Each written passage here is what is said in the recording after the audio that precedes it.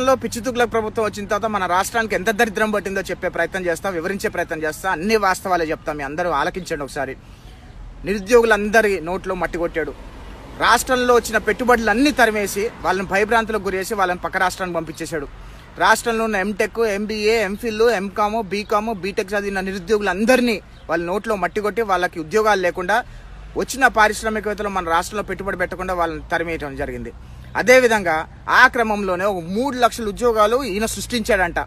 Volunteer ఉద్యోగాల కింద ఒక ఐదు వేల రూపాయలు జీతం ఇచ్చి ఒక చెత్త డబ్బా బండి మన హైదరాబాద్లో జిహెచ్ఎంసీలో చెత్త డబ్బా బండి ఎట్లా ఉంటుందో అలాంటి బండి కొనిచ్చి అది లాగండి రాయా అని చెప్పి MBA MPhil MCom BTech MCom చదువుకున్న వాళ్ళందరికీ ఆ చెత్త డబ్బా ఇచ్చి లాగిచ్చే ప్రయత్నం చేస్తున్నాడు. అది వాలంటీర్ ఉద్యోగం అనమాట అది మూడు లక్షల ఉద్యోగాలు ఇచ్చాడంట అందరికీ. అది ఎవరికి ఇచ్చారా అంటే పిచ్చితుగ్లక్ పార్టీ వాళ్ళకి ఇచ్చాడు.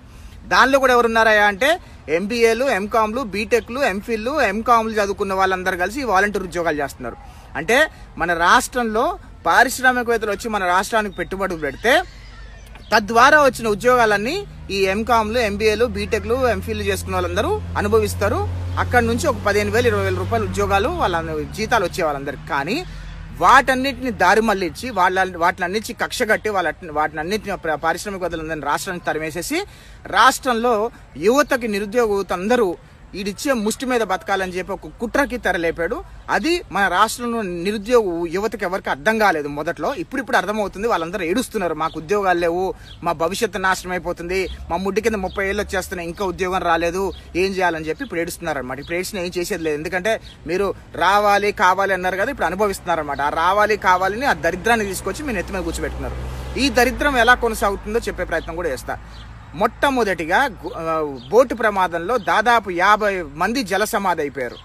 అక్కడి నుంచి వరుసగా ఎప్పుడైతే మన రాష్ట్రానికి మూడు క్యాపిటల్ అని చెప్పి వైజాగ్ నగరాన్ని క్యాపిటల్ తీసుకెళ్తా అని ఎప్పుడైతే ఈయన ప్రకటించాడో ఈయన ఎప్పుడైతే అక్కడ లెగ్ అక్కడ పెట్టాడో వరుసగా వైజాగ్ మొత్తం ప్రమాదాలతో గురవుతుంది. ఎల్జీ పాలిమర్స్ దగ్గర నుంచి ఆ గ్యాస్ లీకుల దగ్గర నుంచి ఆ బోటు ప్రమాదాల దగ్గర నుంచి అదేవిధంగా నవ ఈరోజు మొన్న నవక ప్రమాదం వరకు అన్ని రకాలుగా రాష్ట్రానికి దరిద్రం పట్టినట్టు శని పట్టినట్టు ఆ వైజాగ్ ప్రాంత ప్రజలందరూ ఏడుస్తున్నారు లబోదివమని వైజాగ్ చరిత్రలో ఒక డెబ్బై ఎనభై ఏళ్ళ చరిత్ర తీసుకుంటే ఇలాంటి ప్రమాదాలు ఎప్పుడూ జరగని వైజాగ్లో ఈ ఐరన్ లెగ్ ఎప్పుడైతే అక్కడ అడుగు పెట్టాడో వైజాగ్ రాష్ట్రం మొత్తం భస్మం అయిపోతుంది మాడి మస అయిపోతుంది.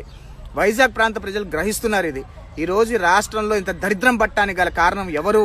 ఈ నలభై మూడు వేల కోట్లు దోచుకొని పదహారు నెలలు జైల్లో ఉండి వచ్చిన నాయకుడు మన రాష్ట్రాన్ని పాలిస్తే రాష్ట్రం ఎంత దరిద్రంగా తయారవుద్దని చెప్పడానికి ప్రజలందరూ ఇప్పుడు గమనిస్తున్నారు. కానీ ఒక సెక్టార్ పేటీఎం బ్యాచ్ ఉంటుందండి. వీళ్ళకి ఏంటంటే ఎంతసేపు వీళ్ళ నాయకుడు ఏం చేసినా కరెక్టే అని అనుకుంటారు. కానీ వాళ్ళ జీవితాలు నాశనం అయిపోతున్నాయి. వీళ్ళ నాయకుడు చేస్తున్న కుట్రలో వాళ్ళ జీవితాలు కూడా నాశనం అయిపోతున్నాయి.